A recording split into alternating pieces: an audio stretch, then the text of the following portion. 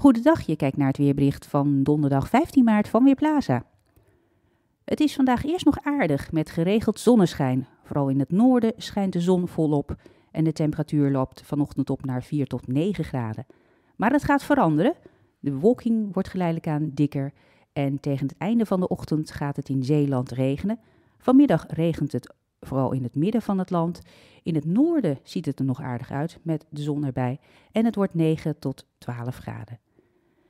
Vanavond is het in het noorden nog een tijd lang droog. Elders is het bewolkt en regenachtig bij een temperatuur van 5 tot 7 graden en een stevige oostelijke wind. Morgen hebben we nog te maken met veel bewolking en neerslag. De lucht wordt kouder.